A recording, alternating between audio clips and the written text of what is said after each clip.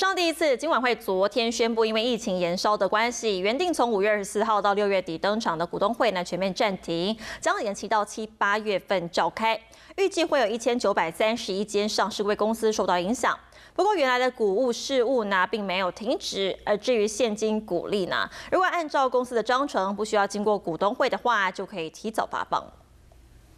疫情笼罩，投资人心情七上八下。不过冲击层面再扩大，金管会二十号发出一纸公告，史上头一遭，因为疫情全面暂停召开股东会，从五月二十四号到六月三十号，原定的股东会将延期到七八月择期再召开。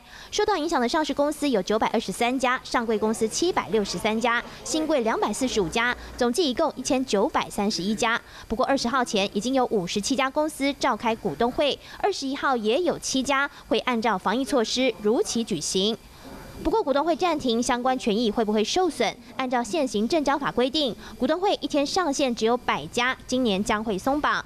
原本规定六月底前一定要召开股东会，这次也不会开罚。至于统计验证或新闻公告等股务事务，也不会停止。而投资人最关心的股利部分，如果是股票股利，必须取得股东同意，会在召开股东会后才领得到。现金股利按照公司章程，如果不需要经过股东会，就可以先发放。疫情当前，防疫优先，金管会也呼吁要共体时间。华视新闻连线翁前煌台北报道。